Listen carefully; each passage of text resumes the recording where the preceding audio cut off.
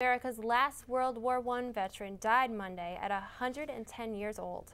Frank Buckles grew up in Oklahoma where he was remembered as a humble patriot. He fought the war just, at just 18 years old. Buckles spent the last few years promoting his fellow veterans at 110 had outlived all 4.7 million other World War I veterans.